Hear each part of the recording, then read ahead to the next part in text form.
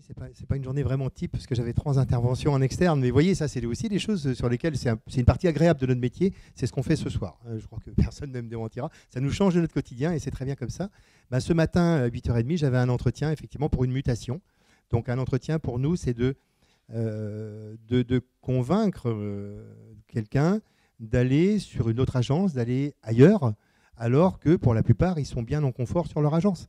Donc euh, voilà, c'est pas forcément euh, facile non plus à vendre. Hein. Donc il faut essayer d'être ferme et souple. Alors voilà, il y a, tout, ce schéma-là. Donc ce matin, un entretien pour une mutation, on le fait avec un directeur d'agence, celui qui va recevoir cette personne-là. La personne que l'on reçoit, a priori, ne sait pas où elle va. Je fais quand même confiance à Radio Moquette pour que tout le monde sache, euh, avant d'arriver chez nous, le lieu, le poste, etc. Ça, ça fonctionne très très bien. Je pense qu'ailleurs, ça fonctionne aussi bien. Euh, tout ça pour dire quand même qu'on va formaliser et ça fait l'objet d'une négociation. Donc lorsqu'on fait une mutation, il y a toujours une part négociation, c'est-à-dire que eh bien, euh, le, candidat ou pas candidat, la personne qu'on va vouloir faire évoluer sur une autre agence va dire oui, d'accord, à condition que mon salaire augmente, à condition, voilà. Ça fait l'objet d'une négociation, ça fait l'objet de discussions, ça fait l'objet aussi quelquefois de, bah, de petites fâcheries, on va le dire. Hein. Et euh, voilà, donc les entretiens ne sont pas aussi simples que ça. Euh, bon, ce matin, il s'est bien passé, il a abouti. Hein, donc euh, voilà, comme la plupart du, temps quand même, puisque généralement, les entretiens que l'on fait au quotidien, c'est dans le souci de faire évoluer les salariés qu'on rencontre. Donc c'est dans leur intérêt quand même. Le nôtre, bien sûr, l'intérêt de l'entreprise, puisqu'on on est garant aussi de la politique des ressources humaines de l'entreprise, euh, qui, est, dictée par la, par DRHF. Chez nous, la, directrice des ressources humaines, donc qui, gère les, enfin, qui est la patronne de, de l'ensemble des 9000 salariés, est une femme aussi. On a parlé on a parlé tout à l'heure de la part de la proportion homme-femme. Euh, sur ce que je peux observer, il y a une féminisation. Aujourd'hui, c'est 70-30 à peu près en faveur des femmes. Hein. dans, les, oui, chez vous aussi, d'accord. Dans les ressources humaines, voilà, c'est un constat tout simplement. Hein, euh, et ça se passe très bien comme ça. Donc, pour compléter ma journée type, il y avait un entretien ce matin. Après, j'intervenais à la fac de Saint-Brieuc parce que c'est aussi, euh, vous savez, vous savez pas, mais la banque a beaucoup de mal à recruter aujourd'hui. C'est quelque chose de compliqué dans un contexte économique incertain. Alors j'ai du mal à comprendre, mais bon. Donc ça veut dire qu'on doit se démultiplier aussi pour aller, entre guillemets, euh, proposer nos services à des étudiants qui ne sont pas encore en sortie, mais qui le seront dans un an ou deux. Donc ça fait partie aussi de notre job d'aller euh, présenter les métiers, présenter, je dirais, les parcours qu'on peut proposer, nous, à, des salariés. Et puis voilà, puis ce soir ici et cet après-midi, donc on a demain des élections professionnelles. C'est des grands moments dans la vie d'une entreprise aussi. Hein. Donc demain, on a des élections euh, qui, euh, avec un dépouillement demain après-midi. Euh, ces élections sont les élections pour les délégués du personnel, pour les membres du comité d'établissement, et puis pour le CHSCT, enfin ça, ça viendra un peu plus tard, mais délégués du personnel et, CE demain. Donc avec aussi des règles là très très strictes aussi, de façon à ce qu'il n'y ait pas de contestation. Hein. Et, la presse de ces jours-ci nous donne encore, vous avez pu le constater, vous voyez certainement à quoi je fais référence, on a intérêt à être très très vigilant là-dessus. Alors, il y, a une règle de base, c'est qu'on on, on, ne mute jamais quelqu'un le fusil dans le dos, hein, entre guillemets. Voilà, ça, fait toujours l'objet d'une réflexion qui peut être très longue d'ailleurs. Hein. Euh, et euh, cette réflexion, elle va euh, faire intervenir beaucoup d'acteurs. Les acteurs, ça va être le hiérarchique direct de l'ensemble des salariés. Le hiérarchique direct, ça va être un directeur de caisse pour nous, un directeur de secteur après. Donc on va se concerter, on a des outils, je dirais, de, gestion des ressources humaines. Pour nous, et je pense que c'est vrai dans les autres entreprises ou pour, mes collègues, on a les entretiens annuels d'appréciation. Donc c'est un moment important dans la vie de chacun des salariés où il rencontre son hiérarchique et il va établir des plans, de, des plans je dirais, de, carrière en quelque sorte. On va s'appuyer là-dessus. Moi, je lis, euh, je lis à peu près les 580 euh, entre, euh, comment dire, entretiens annuels d'appréciation que l'on a. Euh, pourquoi? Parce que là, on va détecter, ça va nous servir euh, de matière, je dirais, pour euh, après aller au-devant des gens et essayer de respecter, je dirais, d'une part leurs souhaits avec les contraintes de l'entreprise. Donc voilà, on n'a pas, on se trompe pas quelquefois, j'en suis bien conscient. on essaye de faire en sorte, je vous disais tout à l'heure, on y va quand même pratiquement tout le temps à coup sûr. C'est-à-dire que lorsqu'on va solliciter quelqu'un pour un poste, généralement, on n'a, entre guillemets, pas de résistance parce que ça correspond à ses souhaits d'évolution qu'elle a exprimés ou qu'il a exprimés et ça correspond à nos besoins. Après, je dirais, il y a une part de négociation qui est généralement salariale. Et c'est de bonne guerre, c'est assez logique. Mais a priori, si on a bien fait notre, travail euh, en amont, on y va quasiment à coup sûr quand même. Mais ça peut durer un an quelquefois, ça peut durer deux ans, ça peut être très long. Enfin, je, pense que pour mes collègues, quelquefois, c'est aussi des, euh, euh, je dirais des, réflexions qui sont très très longues parce que c'est pas forcément le moment tout de suite pour lui. Ça peut être que dans six mois, ça peut être que dans un an. Euh, mais voilà. Alors j'ai l'avantage par rapport à, vous d'avoir en gros un seul corps de métier. Hein, voilà. Euh, donc j'ai une seule problématique qui est un peu différente des, vôtres, où il y a, d'autres métiers avec des problématiques différentes. Donc c'est sans doute beaucoup plus simple pour nous. Mais je dirais qu'on n'a pas trop... Il n'y a, pas de contrainte. Si quelqu'un refuse un poste, il le refuse. Il peut. C'est assez rare quand même. Hein. C'est assez rare. Après, il y a un certain nombre de contraintes qu'on ne peut pas forcément maîtriser parce que c'est quelquefois des contraintes personnelles qui sont nées entre-temps. Et là, oui, bien sûr, hein, si je sais pas, des contraintes de mobilité, ça peut arriver en cours de route, des contraintes familiales, ça peut arriver. On est prêt à en tenir compte, on ne le savait pas forcément avant.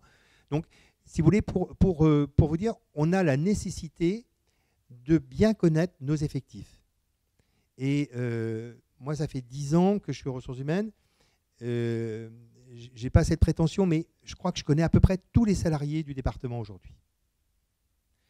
Avant, je connaissais plein de numéros de compte quand j'étais directeur de caisse. C'est pas, euh, voilà, il n'y a pas de, pas compliqué en soi. Hein. Mais quand vous travaillez tout le temps, tout le temps, tout le temps avec les mêmes personnes, avec les mêmes individus, que vous travaillez sur leur dossier, sur leurs capacités, eh bien, vous finissez par les connaître. Et ça, effectivement, c'est une richesse. Et c'est pour ça que nous non plus, et je pense que dans d'autres entreprises, c'est pareil, on ne devient pas euh, responsable des ressources humaines ou directeur des, ressources humaines à la sortie de l'école. Enfin, ça me paraît, enfin, moi, ça me paraît compliqué. Sur ce que j'en ai comme expérience, hein, j'entends bien. Hein. Moi, mon activité essentielle, elle se passe dans les agences. Parce que la vraie vie, c'est laquelle est? Je suis d'accord avec vous.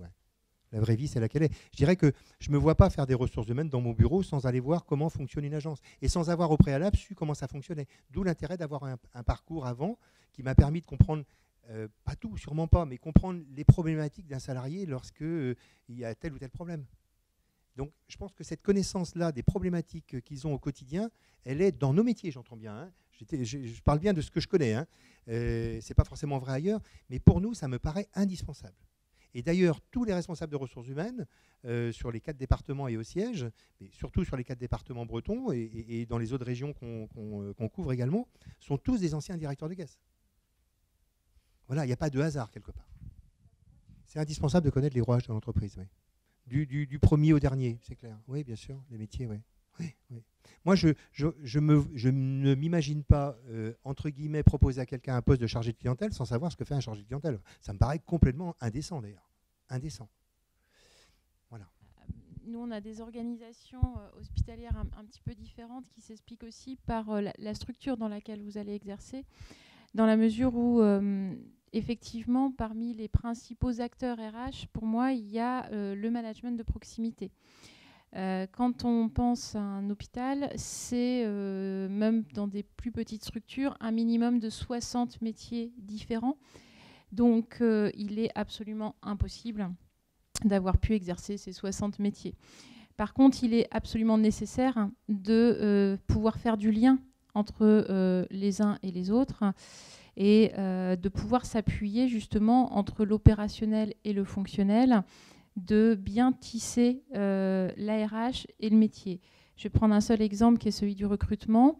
Le recrutement, c'est une compétence euh, de DRH très traditionnelle. Les recrutements se font, pour ce qui nous concerne, avec une compétence ressources humaines. Ça va être les aspects statutaires, les aspects de paye, les aspects de gestion du temps de travail, mais bien sûr une compétence métier.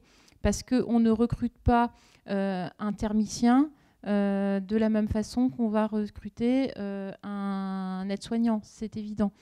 Donc je pense que ça dépend aussi beaucoup de la taille de la structure, des objectifs qui sont, qui sont les siens.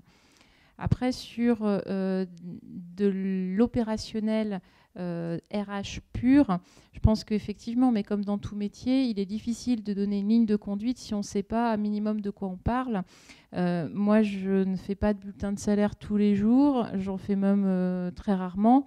Par contre, une des premières choses que j'ai apprises, c'est effectivement qu'est-ce qu'il y a derrière, comment ça se fait, quels sont les éléments variables de paye, qu'est-ce qui remonte, d'où ça remonte. Et je pense que c'est indispensable euh, pour. Euh, alors nous, on n'a pas de politique de rémunération, hein, c'est le prof de la fonction de la fonction publique. Mais par contre, un système d'information RH, si on ne sait pas ce que l'on cherche et d'où viennent les données, on peut effectivement pas en, avoir des objectifs euh, clairs. Donc différence effectivement des, des structures. Je vais aussi reprendre ce qui a été dit. Je pense qu'un métier RH, DRH, RRH, peu, peu importe, ne se fait pas seul dans son bureau. voilà, faut, faut, faire, dans ces cas-là, faut faire, faut pas faire ce métier-là. un, faut aimer le contact. Euh, deux, il euh, faut aimer euh, être mis en cause aussi, ne, reconnaître qu'on ne sait pas tout. C'est pour ça qu'il faut ben, s'appuyer sur d'autres compétences, peut-être plus techniques. Par contre, c'est évident que bah, nous, on a des agences hein, aussi sur tout le département. Bah, il faut aller sur le terrain. une, politique RH qui est transmise du siège D'ailleurs, c'est souvent le reproche. Hein, on dit euh, ça tombe. Hein, ça tombe. Les directives tombent euh, comme la pluie. Euh, bah, c'est pas comme ça qu'on peut associer les gens, les faire adhérer à des projets. Donc, en effet, peut-être que la scission opérationnelle fonctionnelle est peut-être en train justement d'être moins marquée que, ça n'a été. et je rejoindrai également les propos sur l'encadrement. C'est vrai que, alors, on a moins de salariés chez nous, hein, on en a 400.